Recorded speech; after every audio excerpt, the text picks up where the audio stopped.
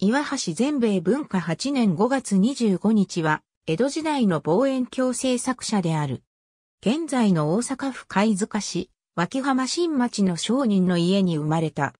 メガネの玉磨きを家業として独立し、自然科学に興味を持ち疫学者、皆川紀園などと交流した。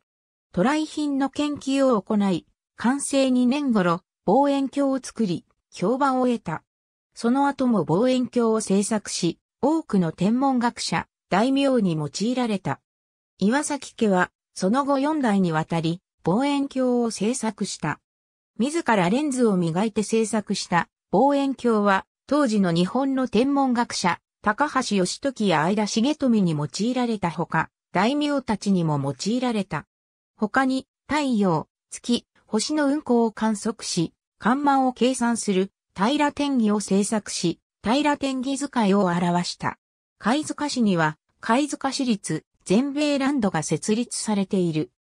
これまで、岩橋全米一門の望遠鏡は18例、現存しており、18例目として2017年2月に、富山県射水市の射水市新港博物館で発見された長さ2メートル95センチメートル、1808年作の望遠鏡が国内最長である。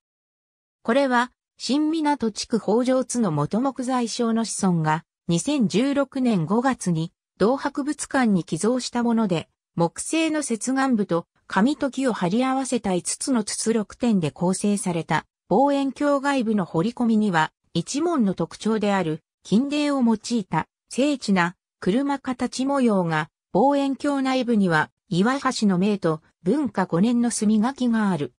また、内部のレンズは4枚で、これまで発見されているものと違い、光の乱反射を防ぐ目的と思われる、塔内部が黒く塗られている。しかし、レンズ等が損傷しており使用できない状態である。なお2番目に長いものは2立方メートル4センチメートルで、伊能忠敬が使用していたものである。ありがとうございます。